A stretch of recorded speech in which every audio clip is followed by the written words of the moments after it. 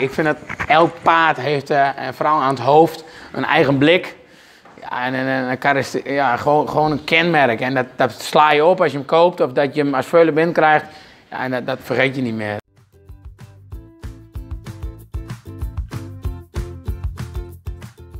Wij zijn uh, aangekomen bij uh, Stal de Merkske. En uh, naast ons staat Ago Okkema. Ja. Ago, kun je wat vertellen over jezelf en het bedrijf? Nou, ik ben Ago Akkema. Ik ben 35 jaar geworden deze week. Gefeliciteerd. Dankjewel. twee kinderen, getrouwd met Marieke. ja, ik zit mijn hele leven lang in de paarden. Het paardenbloed, dat is me via mijn vader echt ingekomen. Die deed ook alles met Friese paarden. En uh, ja, ik heb het stakje ja, niet overgenomen. Hij, hij heeft nog zijn eigen bedrijf, maar uh, ik, ben, ik ben toch hier doorgegaan uh, in, in het paardenbedrijf. En ja, fulltime met paarden bezig. Dus van een jongs af aan je hobby en nu je werk. Dus prachtig. Nou, we komen hier nu bij de, bij de. Die hebben we drie jaar geleden gebouwd. Nou, hier staat onze jongste hengste Ulbram. Dat was de verrichtingstopper. Hé hey, kerel! Kom eens. Kom eens bij de baas. Deze heb ik samen met Laura Zwart. Oké. Dus ja, dat is altijd wel weer leuk. Een jonge hengst, daar uh, zijn de vakkers uh, bij de Friese toch gek op. Dus wat ik zei, hij uh, ja, was de beste in alle disciplines voor, voor de kar onder het zadel en in het mengedeelte. Dus dat was, was erg mooi dit jaar. Nou, Tjalla die staat hier anders in de voorste box. Maar die zijn nu aan het poetsen. Rommet, die is van mijn vader. Die is vorig jaar goedgekeurd. De veulens lijken goed. Zie het? Ik denk het meest besproken paard uit het KFPS. met het verhaal met het wit. En uh, ja, toen kwam er nog bij dat sperma niet al te goed was. Dus, uh, maar nu dit jaar heb ik hem in de competitie. En ah, dat vind hij hartstikke leuk. Dus okay. nu toch meer een sportpaard geworden. Hij is nog wel beschikbaar, maar ja. Dit is nog een jonge Hengst die hopelijk nog eens een keer goedgekeurd wordt. Johannes die staat mooi in de hoek. Kom eens jongen. Vind je mij niet meer aardig? Kom eens. Ja, kampioen van 2015, dacht ik. Ja. Dus dat was onze eerste kampioen, dekhengsten. Ah, dat is altijd leuk, aan de hand dan, hè. Dus, uh, We waren al een keer kampioen uh, met, uh, met tuigen geweest, maar aan de hand dan in Leeuwarden met al die mensen. Nou, dit is onze grootverdiener, die dekt elk jaar gewoon 180 merries. Dus, ja. Nou, hier hebben we de, de dekbok. Hier gebeurt het hele gebeuren. Hier mogen ze s ochtends uh, hun werk op doen. Enkele foto's. Dit vind ik wel heel mooi, dat vierspan hè, met dekhengsten.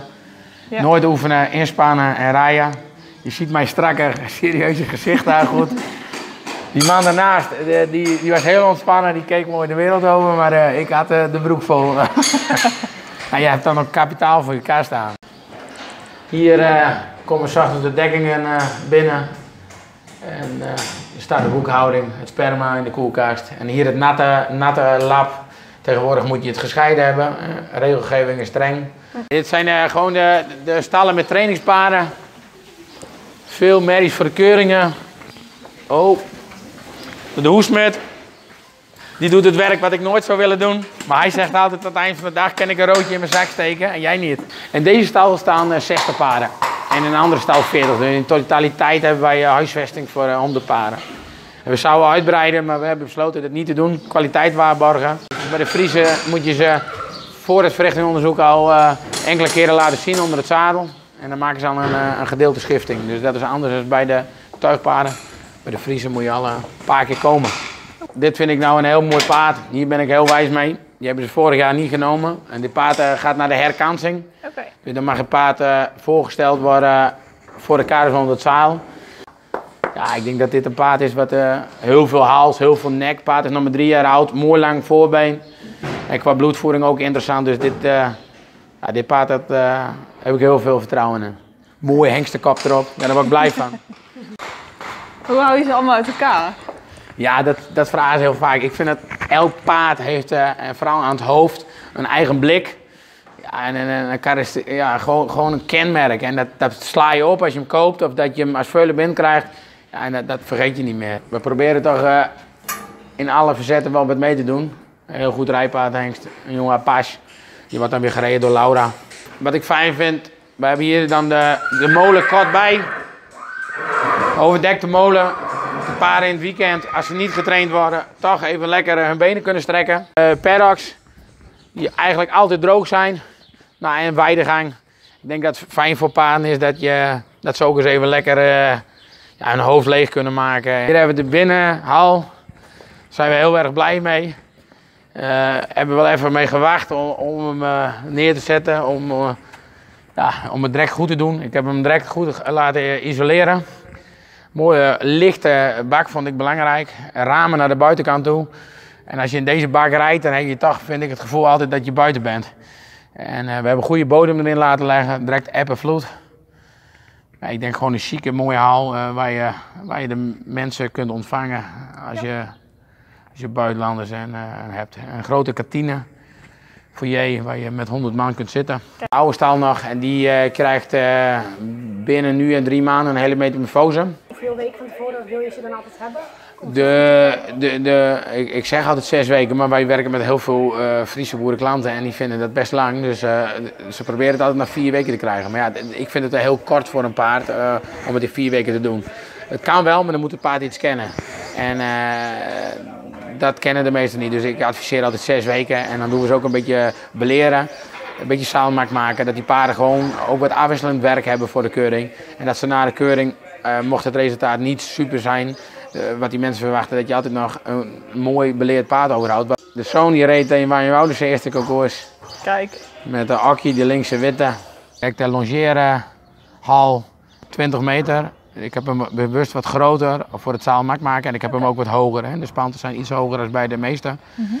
Maar ik vind het lullig als ik met zaalmak maken uh, mijn hoofd stoot. Maar ik vind het nog lulliger dat ik uh, mijn been breek, wat je wel kunt zien. Dat, uh, ja, dat doe ik dus zelf altijd nog, het zaalmak maken. Hagen, wat vind jij belangrijk in de training van een Fries tuigpaard?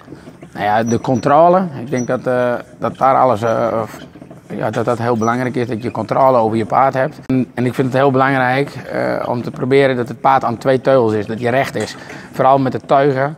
En dan moet je, uh, als hij scheef gesteld is, gaat er toch heel veel beweging verloren. Omdat het paard scheef is, zie je ook vaak een onregelmatig voorbeen of achterbeen. Ik denk, het paard moet op twee teugels, recht gesteld. En ja, dat is, dat is heel lastig. En, uh, ik merk dat dit seizoen met mijn paard ook nog. Die moeten rechter, die moeten meer dan twee teugels ja, om, om nog hoger te komen dit jaar. En dat zijn jonge paarden. We hebben nu Tjalla voor elkaar. Ja, die, die is mooi zo aan twee teugels. En dat is natuurlijk een oude rat vaak. Die loopt uh, het meeste onder het zadel. Maar ik zei, de meiden komen. We zetten hem even lekker voor elkaar. Zie, ik men natuurlijk veel ik, voor, voor de spotpredicaten, voor de merries. Mm -hmm. Dus eigenlijk is ook dat dat mijn kracht wel een beetje, hè, het mennen en het, het beleren van jonge. Okay. En ja, dat uitbrengen in de sport, dat is echt mijn hobby, dat vind ik mooi. En uh, ja, daar, moet ik, daar probeer ik mezelf elke keer nog in te verbeteren. Ook de omschakeling van die ontspannenheid en het, en het lager instellen en het wenden. Toch op concoursveld weer zo te krijgen dat je ja, toch met meer oprichting en met meer actie door de baan kunt gaan. En, nou ja, je kijkt bij veel mensen en uh, je probeert je daarin te verbeteren. Op het moment is die ZW dressuur. Hij zou doorschakelen naar hoger niveau, kreeg hij een blessure. Hij is nu weer op zo'n niveau dat hij, ik denk over 14 dagen ZZ zwaar gestart gaat worden. En het doel is eigenlijk eind 2019 dat hij Grand Prix loopt. Ik, ik heb er altijd in geloofd dat hij dat kan. En ik ben altijd een beetje zinnig als het om tjallen gaat. Dus ik heb nu degene gevonden waar ik denk dat het mee gaat lukken. En dat is Laura. Als Laura in de stal komt, dan is Tjalle blij. En dan staat hij niet achter in zijn box, maar dan staat hij mooi vooraan. En ik wil gewoon dat die paarden van mij schik hebben. En als het zonder schik geen wedstrijd.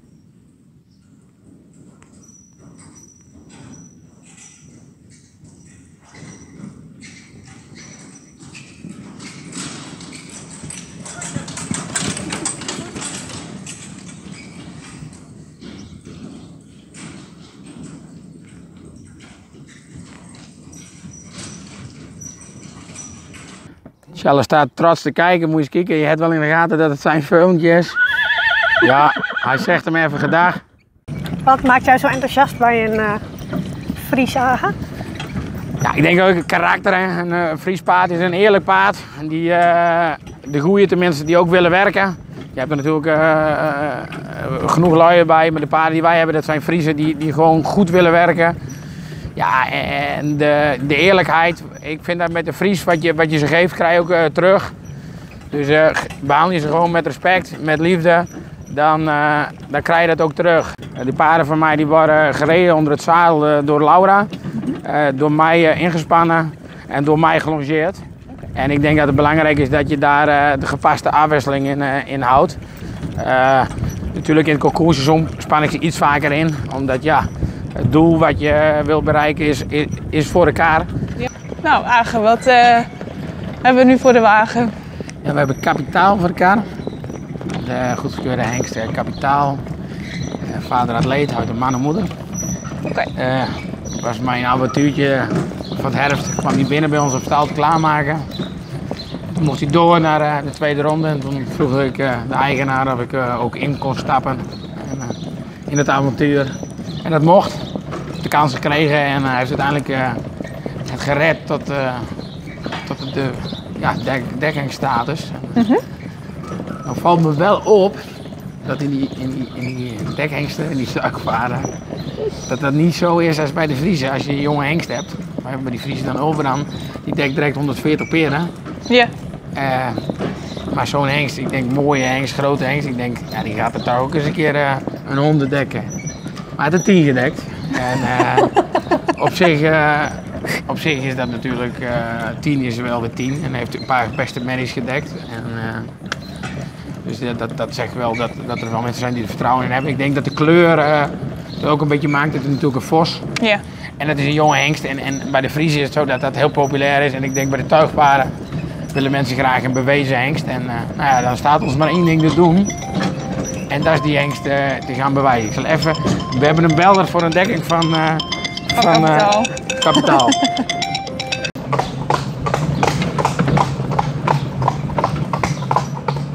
En wat vind je mooi aan een tuigpaard?